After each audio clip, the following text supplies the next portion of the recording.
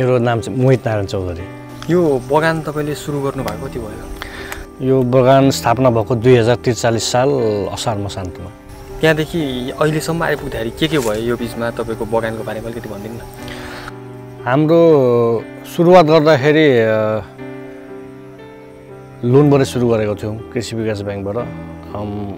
लोनमा त्यतिखेर गभर्मेन्टले सब्सिडी दिएको थियो सेभेन पर्सेन्ट इन्ट्रेस्टमा। त्यो चाहिँ दुई हजार छयालिसपछि चाहिँ वात्तै बढेर एटिन पर्सेन्ट नयाँ प्लान्टेसनको भयो। अनि मसिनरी मिल मसिनरीको पार्ट्सहरूमा ट्वेन्टी वान पर्सेन्ट इन्ट्रेस्ट भयो। त्यसपछि चाहिँ अब पहिले बगानमा युनियन थिएन।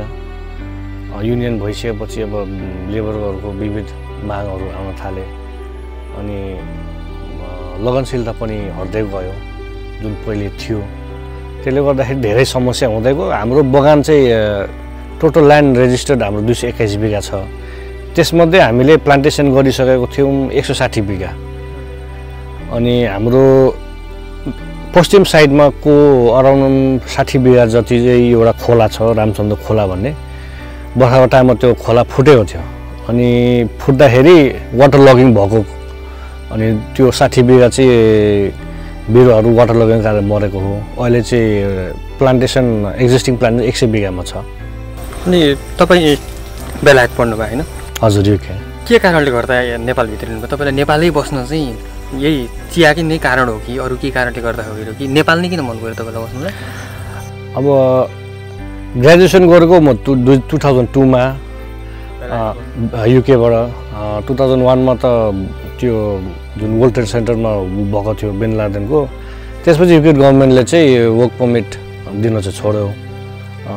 तपाईँको युरोपियन स्टुडेन्टहरूलाई मात्रै दिन्थ्यो अनि एसियन स्टुडेन्टहरूलाई दिन। त्यही भएर हामीले चाहिँ मेरो भिसा पनि एक्सपायर भएको हो अनि बुवाको पनि यहाँ समस्या भएको थियो हेल्थ कारणले गर्दाखेरि।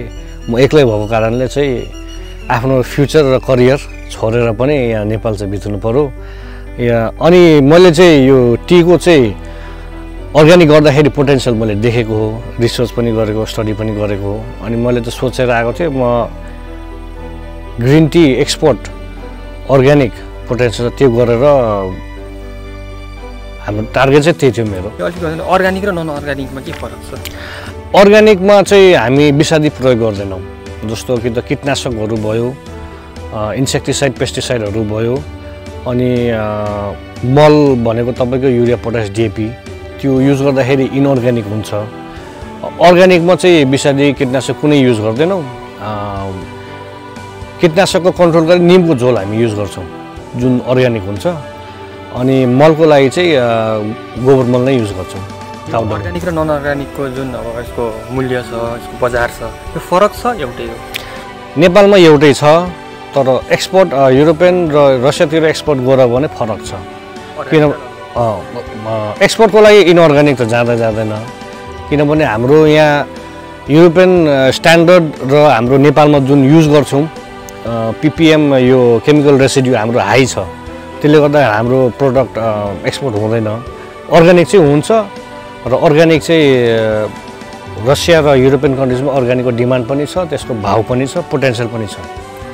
तपाईँले मेकानिकल इन्जि- इन्जिनियरिङ पढेर आउनुभयो युकेबाट? हजुर। अहिले चिया खेती गरिराख्नु भएको छ। हजुर। अहिले चाहिँ तपाईँ इन्जिनियर मेसिनको कि चियाको? अहिले बाध्यता गर्दाखेरि अब सत्र वर्ष भयो यो फिल्डमा चाहिँ एक्सपिरियन्स भएकोले गर्दाखेरि अहिले चाहिँ किसान नै भन्नु पऱ्यो टी इन्जिनियर। तपाईँ मेकानिकल इन्जिनियर भन्न रुचाउनुहुन्छ कि चियाको किसान भन्न रुचाउने म त चियाको किसान भन्न नै रुचाउँ। यत्रो सयौँ बिघामा गर्नुभएको छ होइन। यत्रो दुई हजार त्रिचालिस सालदेखि भन्नुभयो। धेरै वर्ष भइसक्यो यो बिचमा। सरकारले तपाईँहरूलाई कस्तो सहयोग गरिरहेछ अहिलेसम्म सहयोग भनेको सरकारको जिरो पर्सेन्ट अनुभूति भएको पनि छैन। हामी धेरै पटक काठमाडौँ पनि गयौँ। हाम्रो यो गार्डनको समस्याबारे डिपिआर बनाएर पनि अवगत गरायौँ। तर सुनवाई चाहिँ अहिलेसम्म भएको छैन। अनि सरकारबाट तपाईँहरूले यो स्थानीय सरकार अनि ऊबाट एक्सपेक्ट एक्सपेक्टेसन गरेको चाहिँ के हो? एक्सपेक्टेसन जुन गभर्मेन्टले प्रमोट गर्नुपर्ने हो जुन युवाहरू छन् स्वरोजगार हुन खोज्छन् जुनले नेपालको जुन एक्सपोर्ट पोटेन्सियल छ त्यसलाई त्यो अलिक रियलाइज गरिकन हामीले यो ग्रिन टी अर्ग्यानिक मेरो छ त्यसलाई ग्रिन टी म्यानुफ्याक्चर गरेर रसियामा एक्सपोर्ट गर्ने पोटेन्सियल छ। त्यसमा चाहिँ सरकारले चाहिँ जुन इन्डियन गभर्मेन्टले दिँदै आएको छन् सब्सिडी त्यसमा अलिकति केही न केही अलिकति तुलनात्मक रूपमा पनि हामीलाई त्यो सहयोग भएको भए राम्रो हुन्थ्यो। र मेन चाहिँ हाम्रो नेपाल टीको वर्ल्ड मार्केटमा हाम्रो कुनै पहिचान पनि छैन। बजार कस्तो छ नेपालमा चियाको नेपाल टी भनेको तपाईँको भर्खर हाम्रो ट्रेडमार्क पनि छैन लोगो चाहिँ भएको होला ट्रेडमार्क तर यो हाम्रो चिया कफी विकास बोर्ड पनि यसमा निष्क्रिय छ। कुनै एक्टिभिटिज पनि छैन। नेपाल टीलाई कसरी प्रमोट गर्ने? चिया भन्दाखेरि तपाईँको झापा जिल्लामा इलामको चिया मात्र चिनिन्छ। यो झापाको चाहिँ सिडिसी चिया र यो अर्ग्यानिक चिया चाहिँ अहिलेसम्म फोकसमा पनि आएका छैनन्। त्यसको चाहिँ पोटेन्सियल छ एक्सपोर्ट गर्नलाई। त्यो एक्सपोर्ट गर्यो भने त गभर्मेन्टलाई पनि फरेन एक्सचेन्जमा धेरै सहयोग पनि पुर्याउँछ। अनि नेपाल टीको पनि एउटा ब्रान्ड र एउटा क्वालिटी र नेपाल टीमा पनि जुन श्रीलङ्कामा छ जुन तपाईँको बङ्गलादेशको चिया छ त्यसको पनि हाम्रो यो नेपालमा केही पर्सेन्टेज हाम्रो वर्ल्ड मार्केट पनि हामी लिन सक्छौँ। किनभने हाम्रो पाहाडको चिया प्रायः जसो अर्ग्यानिक नै छन्। त्यो चाहिँ गभर्मेन्टले चाहिँ यसमा चाहिँ अरू कन्ट्रिजसँग चाहिँ किसानहरूले कसरी एक्सपोर्ट गर्ने? गभर्मेन्टले चाहिँ अलिकति हामीलाई यसमा पहल गरिदियो भए। तपाईँको चाहिँ अब अरू योजनाहरू के छन् चियामै रमाउने हो कि अर्को क्षेत्रमा पनि म गर्छु भन्ने छ कि? चिया नै चाहिँ मेरो संसार हो म चियामै रमाएर चियामै जिन्दगी बिताउँछु भन्ने खालको त्यस्तो के छ? इन्जिनियर पनि हो तपाईँ होइन? इन्जिनियर पनि हो तर जुन मेरो फिल्ड छ नेपालमा पोटेन्सियल हुँदा हुँदा पनि स्कोप देखिँदैन ओइल एन्ड ग्यास एक्सट्रेक्सन मैले सत्र वर्ष यो युकेबाट फर्केदेखि यो टी सेक्टरमै काम गरिरहेको छु हाम्रो फ्यामिली बिजनेस पनि हो। यत्रो सत्र वर्षदेखि हामीले लस भएर पनि मैले चाहिँ ग्रिन टीको लागि पोटेन्सियल छ। यो अ, निरन्तर दिँदै अब लस भए पनि यसलाई चाहिँ मैले चाहिँ आफ्नो ग्रिन टी प्रोसेसिङ फ्याक्ट्री राखेर एक्सपोर्ट गर्न सक्यो भने चाहिँ अरूले पनि त्यही फुड स्टेपमा फलो गर्दाखेरि सबैलाई राम्रो हुन्थ्यो। हाम्रो कन्ट्रीलाई पनि राम्रो हुन्थ्यो र हाम्रो नेपाल टीको जुन पहिचान हुन्थ्यो एउटा त्यो पनि हुन्थ्यो। त्यत्रो धेरै चिया रोप्नु भएको छ तपाईँको म्यानुफ्याक्चरिङ फ्याक्ट्री पनि छ कि? म्यानुफ्याक्चरिङ फ्याक्ट्री छ हामीसँग तर त्यो पुरानो भइसकेको छ त्यो सिटिसी हो जुन अहिले हाम्रो झापाको मार्केटमा सेचुरेटेड भइसकेको छ र हामीले हाम्रो जुन म्यानुफ्याक्चरिङ कस्ट छ हामी इन्डियन कम्पनीजहरूसँग या इन्डियन गार्डनहरूसँग हामी कम्पिटिसन गर्नै सक्दैनौँ। किनभने इन्डियन गार्डनमा हरेक चिजमा सब्सिडी दिएको हुन्छ। त्यहाँको लेबर पनि सस्तो छ हाम्रोभन्दा। केमिकल फर्टिलाइजर अनि बिरुवा लाउने पनि गभर्मेन्टले सब्सिडी दिन्छ। मसिनरी खरिद गर्नलाई पनि अनि ल्यान्ड पनि उनीहरूले किन्नु पर्दैन। उनीहरूले चाहिँ ल्यान्ड चाहिँ लिजमा लिँदाखेरि हुने हो। हामीले सबै थोक आफै किन्नुपर्ने हुन्छ। अनि अब कोही नयाँ अब युवाहरू कसैले चाहिँ अब यो चिया खेतीतर्फ आकर्षित भएर गर्न चाह्यो भने? उनीहरूले चाहिँ के भन्नु चाहनुहुन्छ यस यस- यसमा गर्दा यसमा भविष्य कस्तो छ उनीहरूको लागि? जो नयाँ यो सेक्टरमा काम गर्न खोज्दै हुनुहुन्छ भनेदेखि म उहाँलाई चाहिँ के भन्न चाहन्छु भने टी सेक्टरमा चाहिँ फ्युचर त छ। अर्ग्यानिकमा चाहिँ ग्रिन टी म्यानुफ्याक्चरिङ गरौँ या सिटिसी म्यानुफ्याक्चरिङ अर्ग्यानिकमा त्यसको चाहिँ तपाईँको युरोपियन कन्ट्रिज रसियातिर र इभन तपाईँको कतार कतार भनेको विश्वको सबभन्दा हाइएस्ट सिटिसी च्या इम्पोर्ट गर्ने कन्ट्री पनि हो। अर्ग्यानिक गर्दाखेरि पोटेन्सियल छ। त्यसमा चाहिँ हाम्रो नेपाल गभर्मेन्टले चाहिँ सरकारले चाहिँ युवाहरूलाई त प्रोत्साहन गर्नलाई आफ्नो चाहिँ भूमिका चाहिँ गर्नुपर्ने देखेको चाहिँ महसुस भएको छ। तपाईँको यो एक राउन्ड तपाईँले यो चिया निकाल्दाखेरि कति जति निस्किन्छ? अहिले हाम्रो अर्ग्यानिक हातले टिपाउँदाखेरि एक राउन्डमा पन्ध्र हजारदेखि अठार हजार केजी हरियो पत्ती। यहाँ बाहेक अन्त हजुरले थाहा पाउनु भएको अर्ग्यानिक चिया खेती कता कता छ हजुरलाई थाहा छ? अर्ग्यानिक खेती तपाईँको इलामतिर मात्र झापामा छैन कहीँ। झापामा तपाईँको मात्रै अर्ग्यानिक? हजुर। किनभने पोसाउँदैनन् अब मल नहालिकन कुनै पनि बगानले पोसाएको छैनन्। अहिले क्वालिटी हाम्रो झापामा एउटा दुइटा बगान बाहेक अरू कसैले पनि क्वालिटी मेन्टेन गरेको छैन।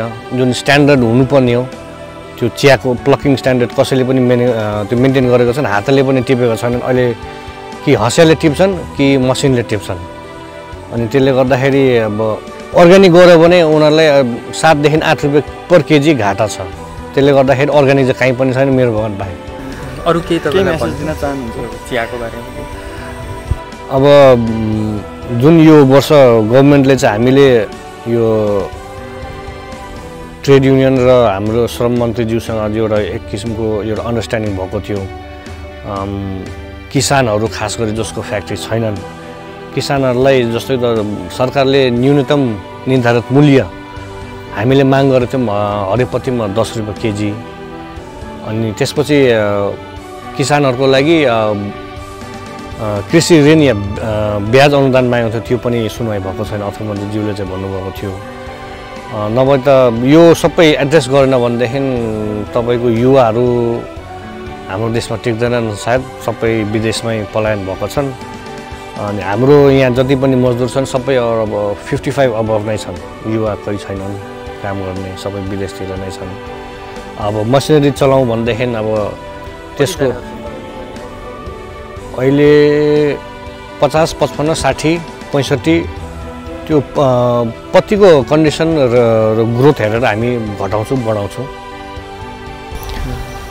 त्यो तपाईँको जिल्लाबाट प्रधानमन्त्री हुनुहुन्छ देशको। हजुर। उहाँले चाहिँ कृषि आधुनिकरण भनिराख्नु भएको छ। कि हजुर। युवाहरूलाई अ, स्वरोजगार देशमै रोजगारीको अवस्थाहरू सिर्जना गर्छ भनिराख्नु भएको छ। तपाईँले चाहिँ के बुझ्नु भएको छ?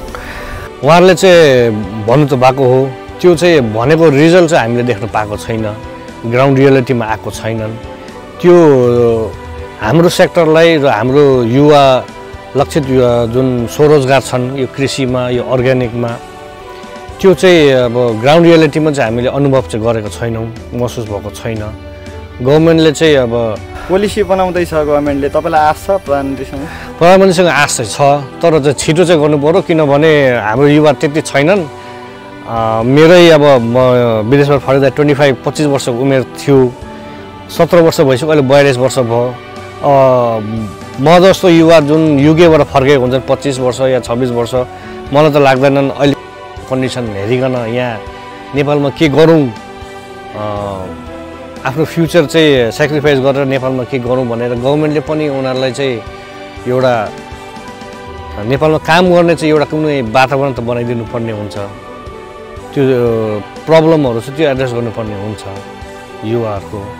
नभए त हामीले युवाहरू यो अर्ग्यानिक चिया नै किन नहोस् अरू खेतीमा पनि अर्ग्यानिक जुन विश्व बजारमा हामी एक्सपोर्ट गर्न सक्छौँ त्यसमा गभर्मेन्टले हामीलाई त्यतातिर फोकस गरिदियो भने चाहिँ हाम्रो युवाहरू धेरै फर्किन्छन् पनि गर्छन् पनि।